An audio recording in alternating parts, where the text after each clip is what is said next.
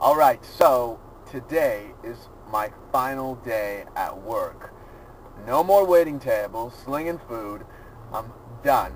Today is my final day, and it's going to be an awesome celebration. Most people know my background's in media and marketing, but for the last few years, I've waited tables at a Shari's location so that I had the flexibility to build my outside business projects without distractions or interruptions. All right, we are here with the crew, and uh, it's the last day. It's kind of a big deal. Wave, say hi. Yeah.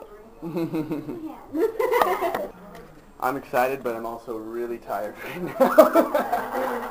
but I'll sleep in the rest of the week. It's okay. He's um, in the center right here, right? Okay. Bye, everybody. Oh, I like. the president is all on the other side of the company. And I just emailed him this morning. He said, "Man, that was a nice email. Yeah. Say hi. Hi. You're going to be famous. Wow.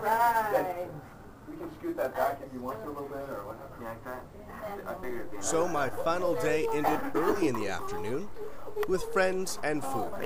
Thanks to everyone who came out to make my last day at work so memorable and so special.